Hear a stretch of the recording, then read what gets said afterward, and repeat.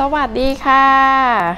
เชยเภสัชนะคะ ก็กลับมาพบกันอีกแล้วนะคะ กับสาระดีๆ เรื่องการใช้ยาและการดูแลสุขภาพโดยเชยเอมเภสัชนะคะ วันนี้เราจะพาเพื่อนๆมารู้จักกับโรคที่ชื่อว่า โรคจมูกอักเสบภูมิแพ้นะคะ โรคจมูกอักเสบภูมิแพ้ก็เป็นอาการอักเสบของเยื่อบุโพรงจมูกนะคะ ซึ่งนั่นก็เกิดจากสารก่อภูมิแพ้ในอากาศนะคะ ในสภาวะอากาศในปัจจุบันนี้ก็จะมีคนที่เป็นโรคนี้ค่อนข้างมากนะคะ ไม่ว่าจะเป็นวัยเด็กวัยรุ่นและวัยผู้ใหญ่นะคะ ที่มักจะพบมากๆ ก็คือจะเป็นวัยรุ่นถึงวัยผู้ใหญ่นะคะ ค่ะสาเหตุของการเกิดโรคนี้นะคะ ก็คือว่ามาจากไรฝุ่น หรือสภาวะอากาศในสิ่งแวดล้อมต่างๆนะคะ ไม่ว่าจะเป็นควันขมเมาต่างๆนะคะ ค่ะ อันที่สองก็คือมาจากกรรมพันธุ์นะคะ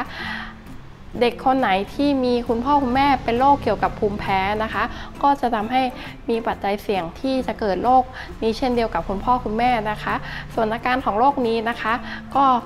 มักจะเป็นกันเยอะมากๆเลยนะคะ ก็คือว่ามีน้ำมูกใส มีน้ำมูกไหลนะคะ มีอาการคัดจมูก มีการคันจมูก มีจามเป็นชุดๆนะคะจนบางคนบอกว่า โอ้โห จามจนแบบว่าปัสสาวะเร็ดก็มีนะคะอ่า ในกรณีที่โรคนี้เป็นแล้วไม่รับการรักษานะคะ ก็อาจจะทำให้เกิดปัญหาไซนัสอักเสบตามมาได้นะคะ การรักษาโรคนี้นะคะ เราก็จะต้องหลีกเลี่ยงปัจจัยที่จะทำให้เกิดนะคะ อันที่ 2 ก็คือรักษาด้วยยานะคะ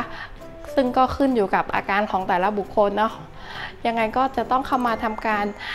ปรึกษาเราอีกทีนึงนะคะค่ะ หากกรณีที่ท่านเป็นมาก ๆ โรคนี้ก็จะมีวัคซีนที่ใช้ในการป้องกันโรคได้นะคะ ในระหว่างที่มีปัญหาเกี่ยวกับจมูกอักเสบภูมิแพ้นะคะ ก็แนะนำว่าควรจะทำการล้างจมูกนะคะ เพราะว่าการล้างจมูกนี้จะทำให้สามารถชะล้าง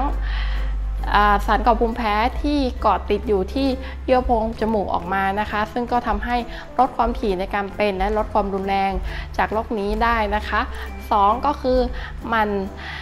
ซักผ้าปูที่นอนทำความสะอาดที่นอนนะคะ เพื่อกำจัดไรฝุ่นนะคะ 3 ก็ออกกำลังกายให้อย่างสม่ำเสมอนะคะ เพื่อร่างกายจะได้มีภูมิคุ้มกันนะคะ ส่วนวิตามินนั้น ก็หากท่านกินวิตามินซีมากกว่า 1,000 มิลลิกรัมต่อวัน ติดต่อกันนานๆนะคะ ก็จะสามารถที่จะลดความถี่และความรุนแรงของโรคนี้ได้เช่นกันนะคะ ค่ะมีปัญหาเรื่องยาหรืออยากได้คำแนะนำเกี่ยวกับการดูแลสุขภาพก็เข้ามาปรึกษาเราได้เลยนะคะ เราเชิญเภสัชยินดีให้บริการค่ะส่วนวันนี้ก็ขอกล่าวคำว่า สวัสดีค่ะ